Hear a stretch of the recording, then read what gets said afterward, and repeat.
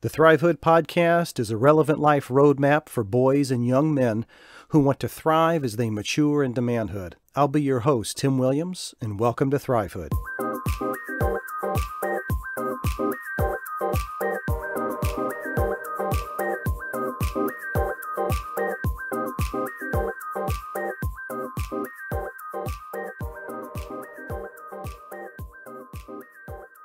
Guys, man, I gotta tell you, sometimes life just sucks. I'm sorry. I know that's like probably not the thing that you wanted to hear and probably was a shock, but man, sometimes it's just rough. You know, it just is. And as I was contemplating whether or not I wanted to do this episode, I through some of the, the last couple of weeks and some of the things that have happened, I decided, you know what? I think I want to because this plays right into what I am trying to do with this podcast and these episodes is to encourage you, is to give you some direction. And sometimes that can come even in the form of a challenge for me. And I felt like this is a great opportunity to share this with you. So when I cast or had cast the vision of what I believe Thrivehood, the Thrivehood podcast was going to be.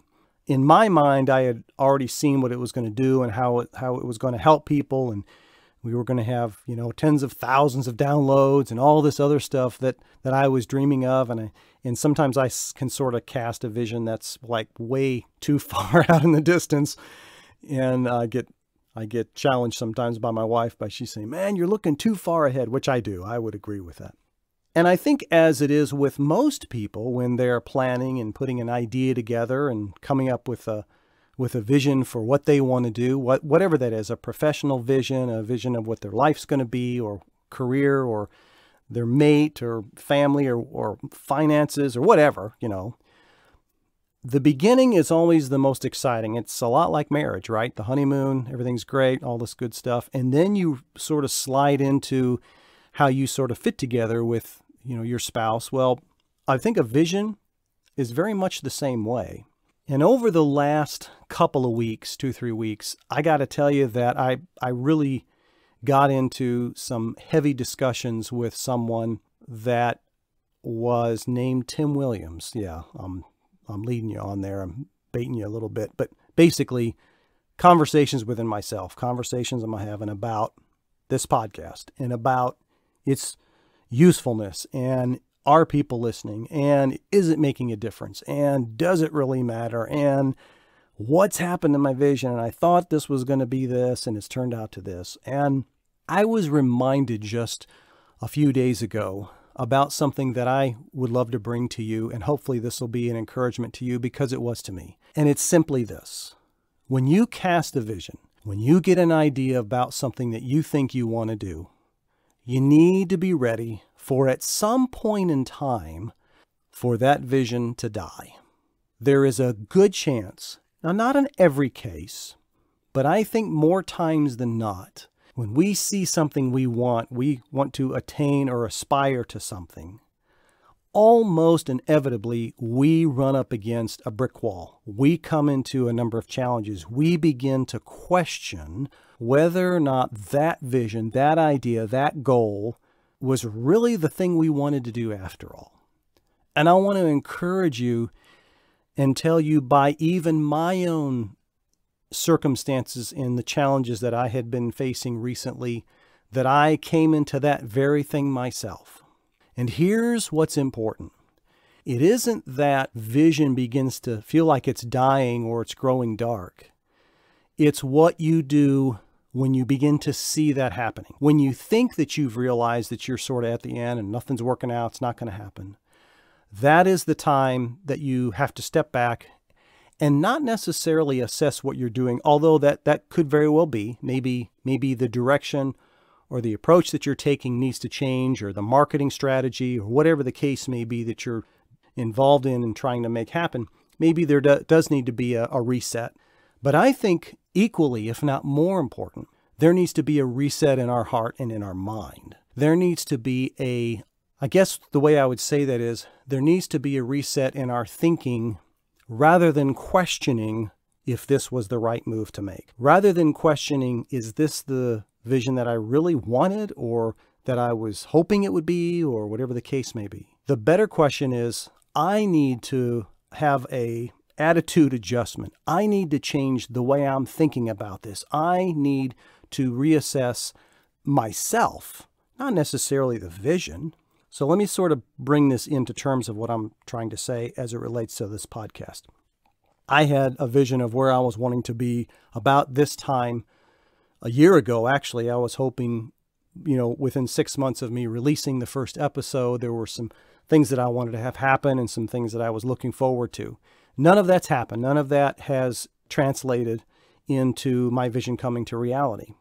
That doesn't mean that this podcast is worthless. It doesn't mean that I'm not helping anybody. It doesn't mean that I've made a mistake. It doesn't mean that I had the wrong vision. It doesn't mean that I'm stupid and I didn't understand what. I, it doesn't mean any of those things.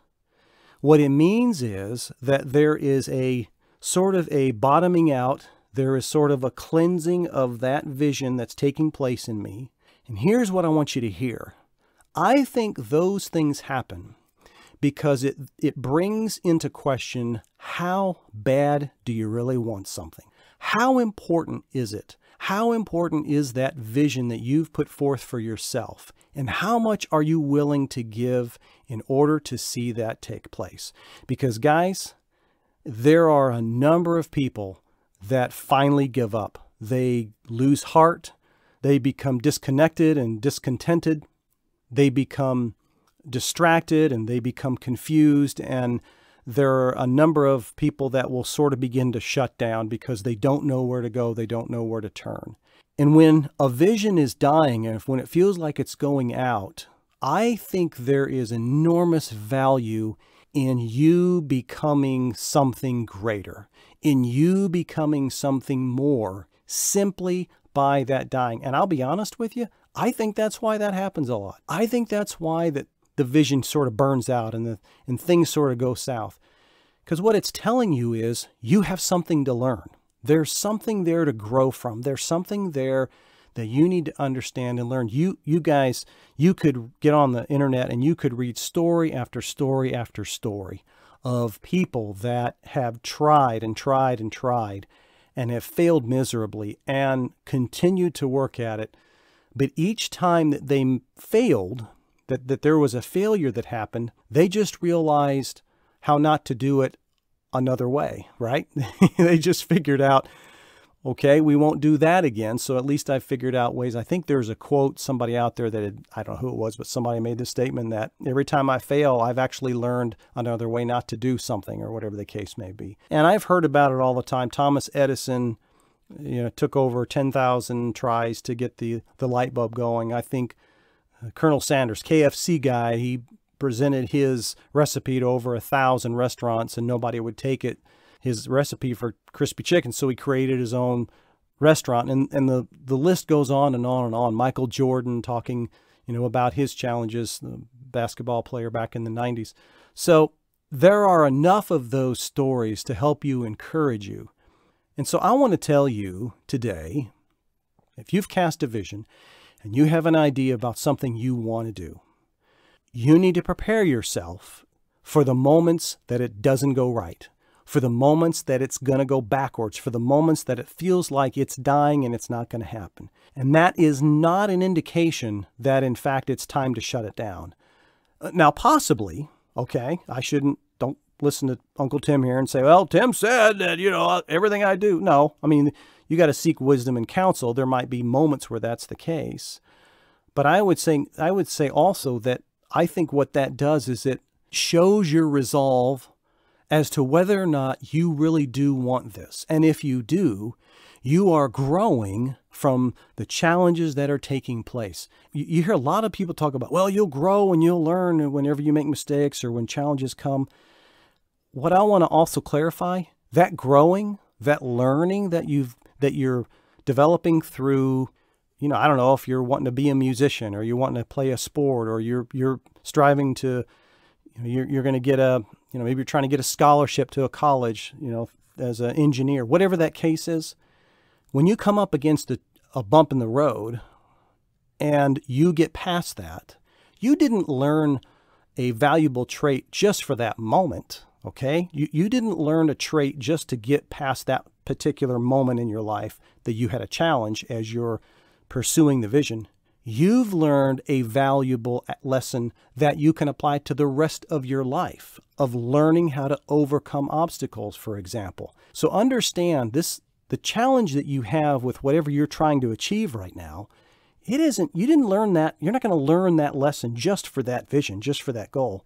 That is something you will learn that you can take through the rest of your life. Guys, that's why when challenges come to your life and, and circumstances that, that, that seem too challenging to bear and you get past them, you, you don't learn a character trait or a virtue for just that particular moment that's something you can carry with you for the rest of your life. And the more of those values and those wins that you build up over your life, you're actually learning now how to engage with and take challenges head on because you remember two years ago, you remembered five years ago, you remembered 20 years ago when you had something similar. And here's what you did, and here's what you here's how you handled it, and here's you can rely on this strategy because you were able to learn you know, from six months ago or two years ago in a different environment, in a different setting altogether.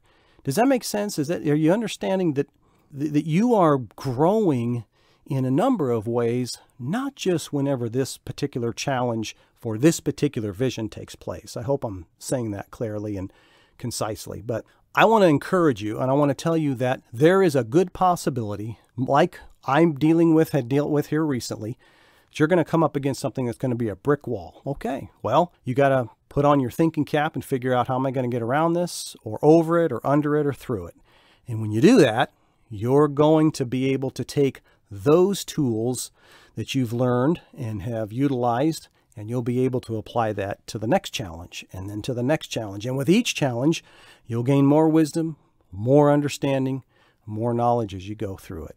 I hope that was helpful. And I'm actually feeling good already just by doing this episode here today. So I want to thank you for giving me that hope and that vision back, guys. Until next time, stay strong.